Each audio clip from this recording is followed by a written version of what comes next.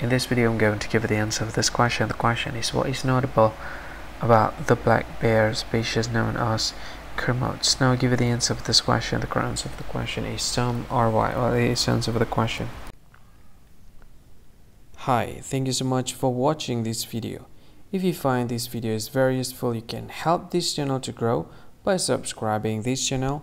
Please this subscribe button and don't forget to like this video.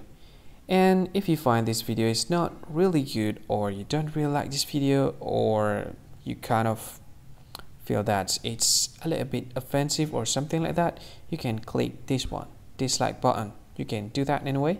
And if you want to share this video with your friend, you can share it by clicking this share button and you can share it to any any social media that you wish that is currently available at this time like Facebook, Twitter, LinkedIn, and many others. Right? And if you want to add this video to your playlist, you can click this one. You can watch this video later and you can find more options by clicking these three dots. And yeah, don't forget to subscribe. I think that's all of it. Thank you so much for watching this video and see you again in another video. Bye bye.